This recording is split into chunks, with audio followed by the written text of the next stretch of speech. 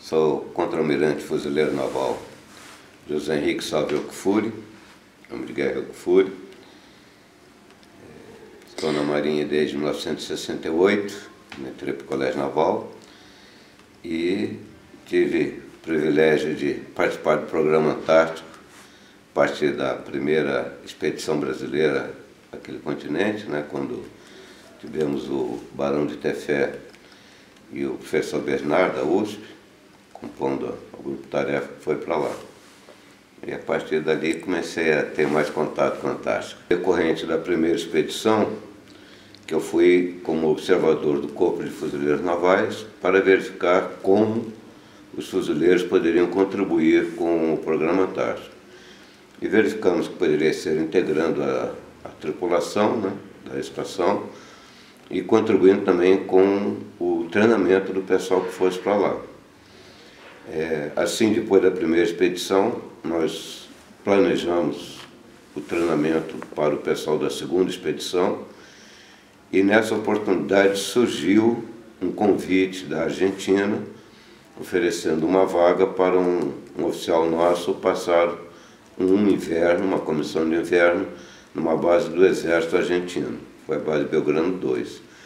Como havia interesse da CECIM, da Marinha, de no futuro fazer comissões de inverno, então foi uma oportunidade boa e me foi oferecido, eu aceitei e fui então em novembro de 2000, 1983, ainda em 83, fui para Buenos Aires, eu lá embarquei no Almirante do Quebra-Gelos da Argentina, e fomos para a Antártica. Foi muito importante, porque além de confirmar aqueles conhecimentos de logística, da parte técnica, de infraestrutura que precisaria ter numa estação, alguns procedimentos de segurança, é, eu percebi a importância na parte do pessoal, seja na seleção do pessoal apropriado, seja na preparação da equipe que iria para lá, e também alguns cuidados que precisaríamos ter, tanto com a tripulação como com os familiares que ficassem aqui. Então, é, por vivenciar algumas situações hum. é, durante esse período lá com os argentinos, hum. por ter acesso a situações que ocorreram em outras bases, né, com outras tripulações, aquilo me mostrou a, a importância de temos uma grande preocupação com o pessoal. Por ser a primeira invernação, nós tínhamos que dar uma organizada na estação. Não que ela que não tivesse havido cuidado de organização anteriormente, mas ela funcionava primeira vez no período de verão, fechou. Verão seguinte, funcionou ampliação, o negócio todo, né? E a terceira vez, mais ampliação e iniciou a invernação. Então, por exemplo, nós não tínhamos noção de qual material que havia na estação. Aproveitamos então somente os dias de, de mau tempo para fazer um inventário de tudo que tínhamos na estação, desde a parte de gêneros, eh, os equipamentos, os suprimentos de, de saúde, ou seja, identificar o que, que efetivamente nós tínhamos lá. Então isso levou algum tempo. Em paralelo a isso, nós tivemos que construir um refúgio. Então fizemos a construção de um, de um refúgio, aproveitar os dias que o tempo estava bom, íamos até o local para construir esse refúgio. É, também houve alguma necessidade de alguns reparos na estação, que por mais que o pessoal tivesse trabalhado, ficaram algumas coisas para serem resolvidas por nós tivemos que reposicionar um módulo e assim por diante. Né? É, fora as questões inopinadas que iam surgindo. Então, buscando, a gente encontrava o que fazer.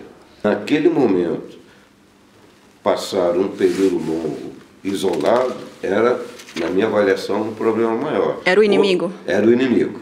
É, hoje, talvez, isso não seja mais, seja pelas facilidades de comunicações, por haver é, uma estrutura é, social, psicológica, de apoio e tudo mais, mas aquilo era o início, então estávamos aprendendo a fazer as coisas. No caso da base brasileira, lá de Ferraz, nós fazíamos contato com uma estação rádio costeira da Embratel, lá de Rio Grande, e ela conectava com o telefone da nossa casa.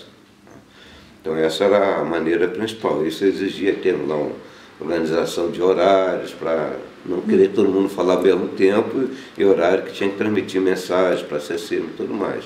Não havia uma organização do, do, do tempo do rádio lá. Mas nem sempre a propagação era boa. Então, às vezes não se conseguia falar. Uma alternativa também, com os equipamentos de rádio, fazer contato com algum radioamador e a família ir até a casa do radioamador, quando fosse alguém conhecido. Né? Eu tive um colega nosso Marinha que era radioamador, da minha família no Rio de Janeiro, ia até a casa dele para ir lá se comunicar comigo. Mas nas duas situações, é, Está no éter a nossa fala. Então todo mundo que está naquela frequência está ouvindo o que nós estamos conversando. É diferente de um telefone por satélite, um WhatsApp, como se faz hoje aí, que tem a privacidade. Então naquela época não tinha essa privacidade. Aos sábados à tarde, então, nós tínhamos a sessão pipoca. Na época, o que tínhamos era fitas de, de VHS, né, de, de cassete. Então tínhamos levado uma quantidade, aí escolhíamos lá um, um filme e o cozinheiro preparava pizza então era cinema, pizza, é, era o dia de cada um usar a sua cota de cerveja ou de refrigerante. Eu estou falando isso porque nós tínhamos recebido doações de cerveja e refrigerante e eu contei naquele inventário quanto tinha. Bom, então cada um tem uma cota de tantas latas de cerveja, tantas latas de refrigerante. Pode usar quando quiser. Agora, na sexta-feira à tarde vai ter a pizza, acho que combina melhor. Então era o dia que a gente tomava uma cervejinha também. E quem tinha violão depois do filme trazia o violão, a gente ficava fazendo uma seresta lá. Olha, é difícil dizer a maior lição, porque cada componente da sua vida que você olha assim foi um, um, um prêmio. Né? Você poder participar de um programa como o Programa Antártico, que é um, programa de nível nacional, não é uma coisa específica da Marinha ou do Corpo de Fuzileiros, é uma coisa do Brasil. Você se sente orgulhoso por isso, por poder participar desse programa. Você poder ir a um local que muito poucas pessoas conseguem ir, na Antártica. Né? Então, esse aspecto profissional, cultural, é um prêmio muito grande. No aspecto familiar, você tem aquele período de afastamento, dificuldade, mas quando retorna, você valoriza mais é, aspectos familiares, né? e com isso você tem um aprimoramento emocional no relacionamento com a família, com, com amigos, tudo. Então, é um conjunto de, de fatores que cada um, no seu segmento, tem um prêmio muito grande. Fantástica, é uma experiência é, magnífica. É uma experiência que eu curto até hoje. Se tiver que falar sobre a Antártica, falo cinco minutos, falo cinco horas. Haverá sempre muito o que falar, fazendo analogia com, os, com a nossa hidrografia, né? Então, a Antártica para mim isso foi um momento magnífico da minha carreira, da minha vida pessoal, é, que eu tive muitos ensinamentos, que eu conheci pessoas especiais, que eu aprendi muito para viver melhor. Da saudade? Saudade. Voltaria lá.